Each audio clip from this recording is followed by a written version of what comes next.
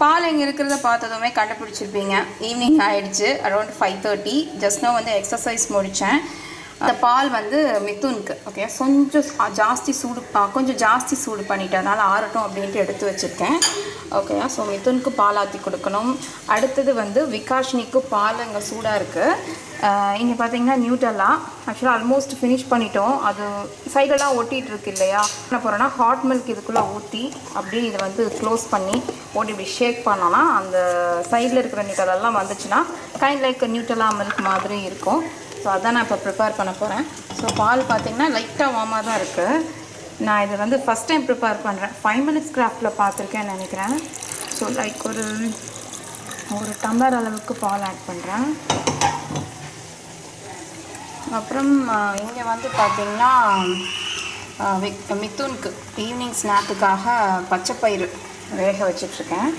Okay so இப்போ வந்து நம்ம இதை க்ளோஸ் பண்ணி மித்துன்!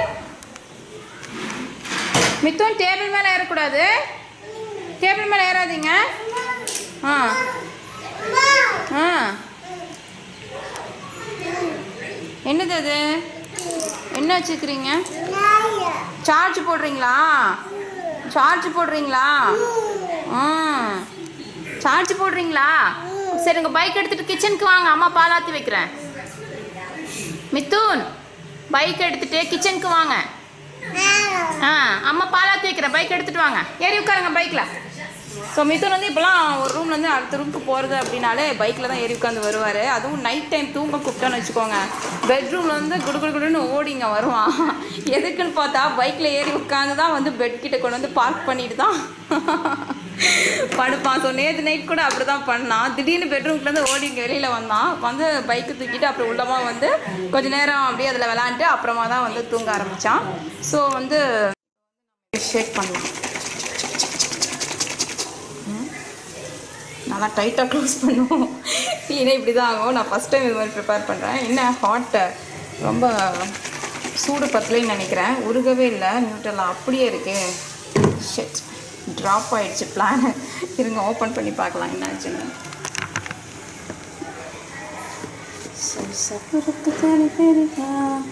ஸோ வந்து பால் இன்னும் ஹாட்டாக இருக்கணும்னு நினைக்கிறேன். ஸோ அதனால் நான் என்ன பண்ணுறேன்னா இந்த நைஃப் எடுத்துகிட்டு சைடில் வந்து இப்படி வச்சு நல்லா மிக்ஸ் பண்ணிடலாம். டேஸ்ட் வந்து ஸ்வீட்னஸ் போதும்னு தான் நினைக்கிறேன். விகாஷ் நீங்கள் தான் கேட்கணும். இல்லைன்னா வந்து இன்னும் சைடில் பாருங்கள் எவ்வளோ ஒட்டிகிட்ருக்கு. ஸோ ரொம்ப ஹாட்டாக மில்க் ஊற்றணும்னு நினைக்கிறேன். எனிவேஸ் அப்படியே மூடி வச்சோன்னு வச்சுக்கோங்க. கொஞ்ச நேரத்தில் வந்து அதெல்லாம் உருகி வந்துடும்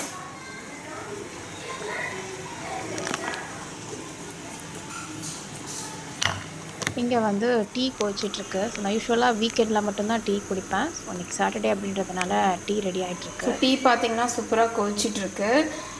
அதே போல் வந்து இங்கே நியூட்டலா மில்க்கும் ரெடி ஆகிடுச்சுங்க ஆக்சுவலாக வந்து நீங்கள் நல்லா ஹாட்டாக பாலை ஊற்றிட்டு ஒரு ஃபிஃப்டீன் டு டுவெண்ட்டி மினிட்ஸ் வச்சிட்டிங்கன்னா நீட்டாக வந்து இந்த மாதிரி உருகிடுது. நான் வந்து ஃபஸ்ட்டு வார்மாக தான் ஊற்றினேன் அதாவது வெது வெதுன்னு ஊற்றினேன் அப்போ வந்து உங்களுக்கு அந்தளவுக்கு இதாகலை. மறுபடியும் நல்லா ஹாட்டாக ஊற்றினேன் அதுக்கப்புறம் தான் பார்த்தீங்கன்னா பாருங்கள் ஃபுல்லாக எல்லாமே உருகி வந்துச்சு இன்னும் கொஞ்சம் இருக்குது ஸோ ரொம்ப நிறையா இருக்குது இல்லையா? இதில் வந்து ரெண்டு கிளாஸ் மில்க் ப்ரிப்பேர் பண்ணலாம். இதில் ஒட்டிகிட்டு இருந்தது இதில் மட்டும். ஸோ அதனால் வந்து நான் இன்னொன்று நைட்டுக்கு அவளுக்கு கொடுத்தலாம் அப்படின்ட்டு.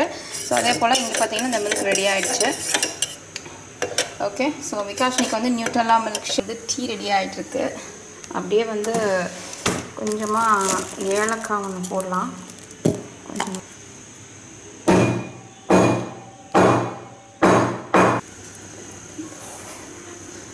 ஸோ வந்து இந்த மாதிரி ஏலக்காய் ஆட் பண்ணிட்டேன். ஆல்மோஸ்ட் டீ நல்லா கொதிச்சிருச்சு. இப்போ வந்து வடிகட்ட போகிறேன் ஸோ வடிகட்டிட்டு முறுக்கு தான் இது கூட வந்து நான் சாப்பிட போகிறேன்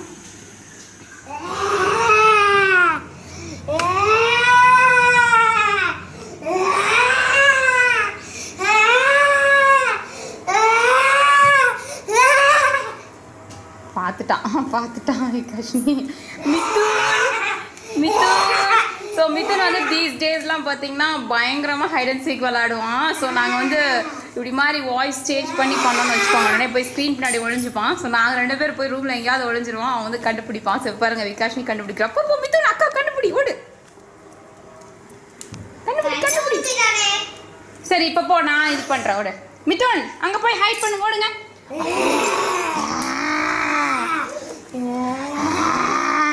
ஸோ இந்த சவுண்ட் நாங்கள் எவ்வளோ நேரம் கொடுக்கணுமோ அவ்வளோ நேரம் வெளில வர மாட்டோம்.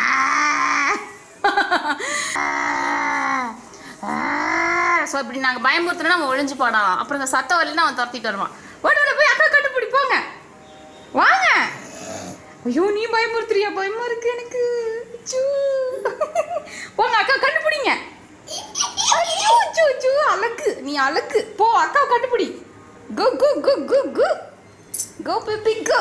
Go, go, go, go.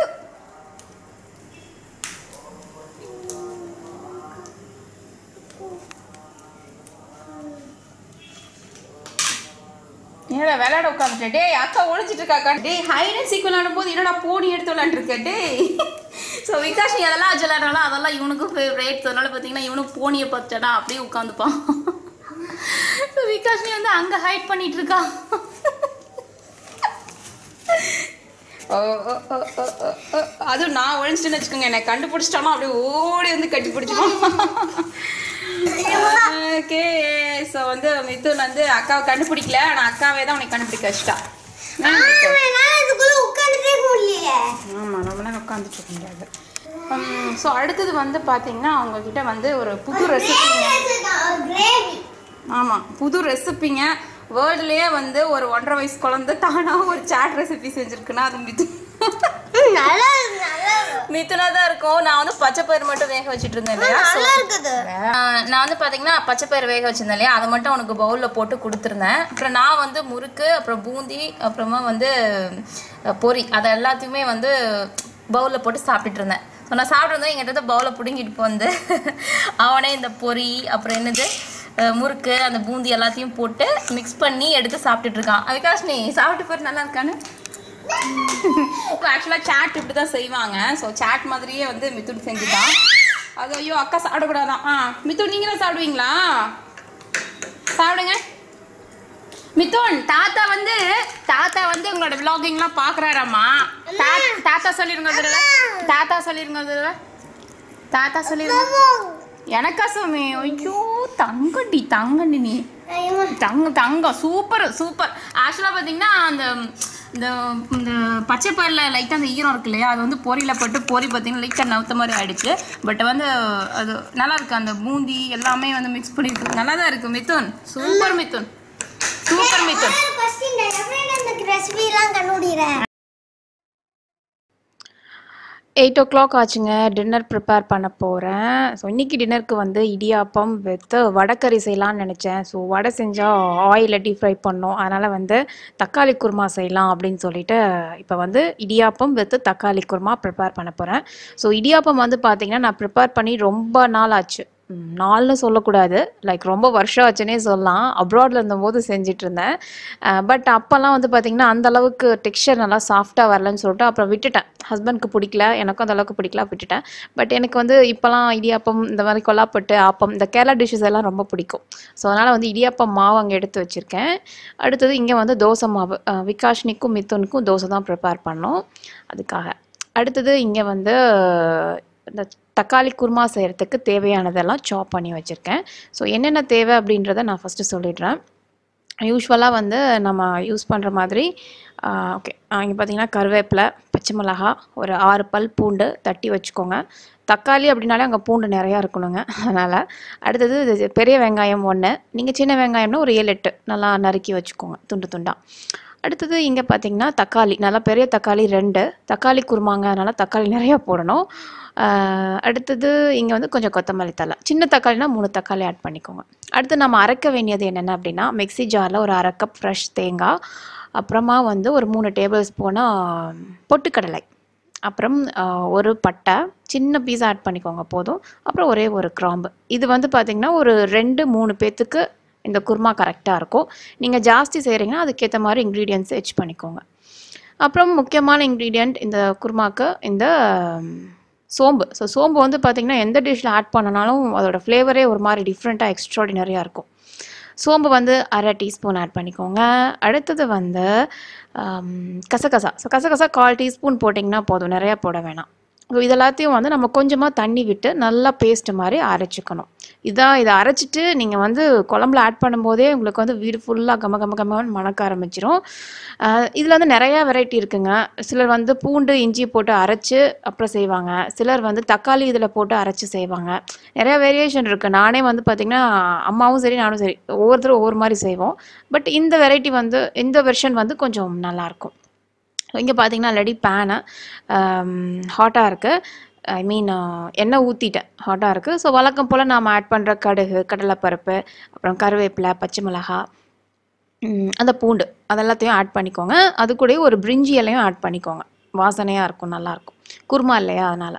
So வந்து இந்த பூண்டு நல்லா செவக்கணுங்க. கண்டிப்பாக வந்து செவக்கிற வரைக்கும் ஃப்ரை பண்ணிக்கோங்க. அதுதான் வந்து குழம்புக்கு ஃப்ளேவரே ஸோ அதனால் நல்லா செவந்ததுக்கு அப்புறமா நம்ம வந்து நறுக்கி வச்சுருக்கோம் இல்லையா? வெங்காயம். அதை ஆட் பண்ணிக்கலாம். அது கூடவே கொஞ்சமாக மஞ்சள் தூள். ஒரு கால் டீஸ்பூன் மஞ்சள் தூள். இதை வந்து நல்லா மிக்ஸ் பண்ணிவிட்டு லைட்டாக செவக்கிற மாதிரி ஃப்ரை பண்ணிக்கோங்க வெங்காயத்தை. ஸோ வெங்காயம் வணங்கிடுச்சு. அடுத்தது நம்ம தக்காளி ஆட் பண்ணிடலாம். ஸோ வெங்காயம் வணங்கிட்டு இருக்க சமயத்திலே வந்து பார்த்திங்கன்னா நான் போயிட்டு அந்த இது மசாலாவை அரைச்சி வச்சிடறேன் ரெடியாக அரைச்சி வச்சுட்டு இப்போ பார்த்திங்கன்னா தக்காளி ஆட் பண்ணுறேன் தக்காளி சீக்கிரமாக ஃப்ரை ஆகணும் அப்படின்றதுனால கொஞ்சம் உப்பு சேர்க்குறேன். ஸோ உப்பு சேர்த்து நீங்கள் மிக்ஸ் பண்ணி கவர் பண்ணி வச்சிட்டிங்கன்னா ரொம்ப சீக்கிரமாக வந்து தக்காளி நல்லா வந்து குக் ஆகிடும் அடுத்தது நம்ம வந்து சாம்பார் தூள் ஒரு ரெண்டு டீஸ்பூன். யூஸ்வலாக பார்த்தீங்கன்னா சிலர் வந்து வெறும் வரமிளகாத்தூள் அப்புறமா வந்து மல்லித்தூள் மட்டும் ஆட் பண்ணிடுவாங்க. பட் வந்து நீங்கள் தாராளமாக சாம்பார் தூள் ஏன்னா இதுலேயும் அதே தான் இருக்குது ப்ளஸ் வெந்தயம் இருக்குது ஸோ அதனால் டேஸ்ட் இன்னும் நல்லா தான் இருக்கும். அதனால் நீங்கள் வந்து சிம்பிளாக ஒரே மசாலா போட்டுக்கலாம் சாம்பார் தூள் மட்டும். ஆட் பண்ணி நல்லா மிக்ஸ் பண்ணிக்கோங்க. அப்படியே இந்த பூண்டு வாசனை அப்புறம் சாம்பார் தூள் வாசனை சான்ஸே இல்லை. ஓகே அடுத்தது இங்கே பார்த்தீங்கன்னா நான் அரைச்சி வச்சுருக்க பேஸ்ட்டு அதை ஆட் பண்ணிக்கோங்க. நல்லா தண்ணி ஆட் பண்ணி லைக் ஒரு ரெண்டு டம்ளர் ரெண்டு டம்ளர் மூணு டம்ளரே ஆட் பண்ணலாம். நீங்கள் நல்லா ஒரு பத்து நிமிஷம் கொதிக்க விடணும். அதனால் தண்ணி நல்லா ஆட் பண்ணிக்கோங்க. ஆட் பண்ணிவிட்டு அடுத்தது வந்து உப்பு.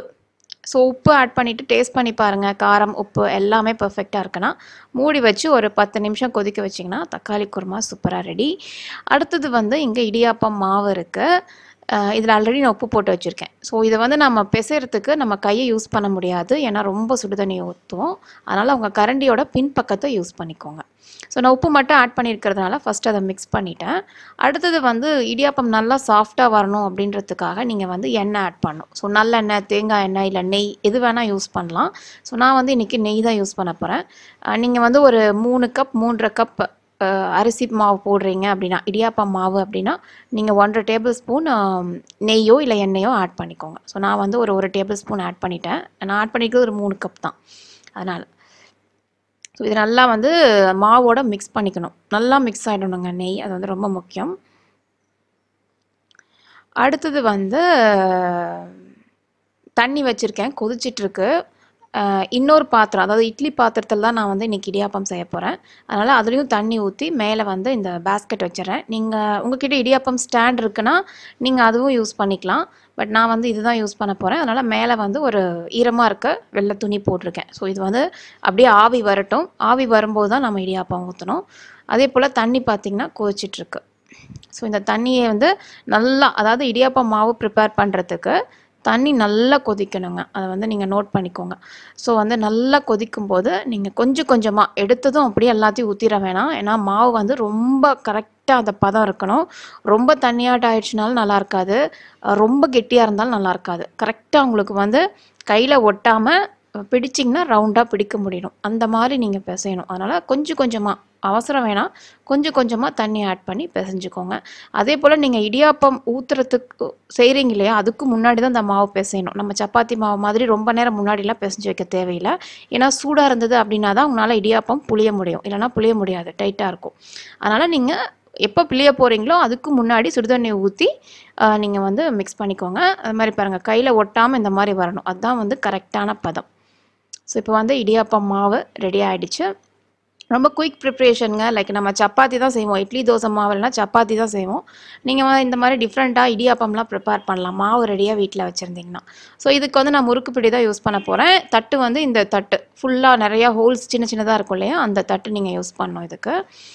அடுத்தது இடியாப்பம் மாவும் ரெடியாக இருக்குது நான் வந்து ஆல்ரெடி பார்த்தீங்கன்னா ஒரு நாலஞ்சு இடியாப்பம் ஊற்றிட்டேன் இப்போ தான் வந்துட்டு உங்களுக்கு காமிக்க போகிறேன் ஸோ பதம் பார்த்துக்கோங்க இந்த மாதிரி தான் கைண்ட் லைக் ஐஸ்கிரீம் மாதிரி இருக்கணும். ஸோ இதுதான். ஸோ இப்போ வந்து நம்ம கொஞ்சம் மாவு எடுத்துட்டு ஒரு சப்பாத்தி மாவு சைஸ்க்கு எடுக்கலாம் நீங்கள் ஒரு இடியாப்பத்துக்கு அவ்வளோதான் ஆகும். ஸோ அந்த மாவு எடுத்துட்டு உள்ளே போட்டு நம்ம இதை புளிய போகிறோம் அந்த டைமில் பார்த்தீங்கன்னா கரெக்டாக கொதி கொதிச்சு அதில் ஆவி வர ஆரம்பிச்சிருச்சு. ஸோ நீங்கள் வந்து இடியாப்பம் பிழியும் போது கண்டிப்பாக அதில் ஆவி வந்துட்டு இருக்கணும். அப்போ வந்து நீங்கள் இந்த மாதிரி சுற்றியும் இந்த மாதிரி ஊற்றி விட்டுருங்க.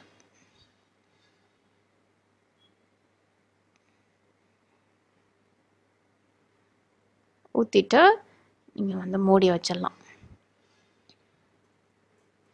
ஸோ இது வந்து எப்படி குக் பண்ணும் அப்படின்னா நான் ஃபஸ்ட்டு சொன்ன மாதிரி ஆவி வரும்போது இடியாப்பம் புளிங்க. வந்து ரொம்ப குயிக்காக குக் ஆகிடும் ரொம்ப நேரம்லாம் எடுத்துக்காது. நம்ம தோசை எப்படி ஊற்றுறோம் இல்லையா? செவந்ததோ அந்த மாதிரி. பட் இது செவக்கிறத பார்க்க முடியாது. எக்ஸாக்டாக வந்து பார்த்திங்கன்னா ஒரு ஒன்றரை நிமிஷம் இல்லை ரெண்டு நிமிஷம். அதுக்கு மேலே ஆகவே ஆகாது. ஒரு இடியாப்பம் மட்டும் ஊற்றி எடுக்கிறீங்க அப்படின்னா ரொம்ப குயிக்காக ப்ரிப்பேர் ஆகிடும் நீங்கள் அடிக்கடி செய்ய போகிறீங்கன்னா இடியாப்பம் ஸ்டாண்டு அந்த பிளேட்டோடு இருக்கும். ஆறு பிளேட் ஏழு பிளேட் அது மாதிரி வாங்கி வச்சுக்கலாம். ஸோ வந்து இந்த மாதிரி ஊற்றிட்டு ஒரு ரெண்டு நிமிஷம் மட்டும். ஸோ ரெண்டு நிமிஷம் ஆ- ஆனதுக்கப்புறம் உங்களுக்கு நான் காமிக்கிறேன். ஓகேங்க. இப்போ வந்து பார்த்தீங்கன்னா ரெண்டு நிமிஷம் ஆயிடுச்சு. இது எப்படி குக் ஆயிடுச்சு அப்படின்ட்டு செக் பண்ணலான்னா அந்த மாதிரி நீங்கள் கையில் எடுத்தீங்கன்னா உங்களுக்கு நூல் மாதிரி வரும். அப்போ வந்து நீங்கள் கன்ஃபார்ம் பண்ணிக்கலாம். குக் ஆயிடுச்சு அப்படின்றத.